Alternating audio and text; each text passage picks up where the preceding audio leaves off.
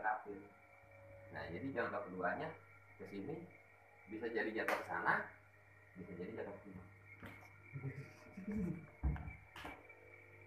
Gitu. ini kan arah eh, totokan matian ya teman. Nah itu teknik praktis. Latihannya kita disuruh merasa ambil tangan satu teknik dua teknik.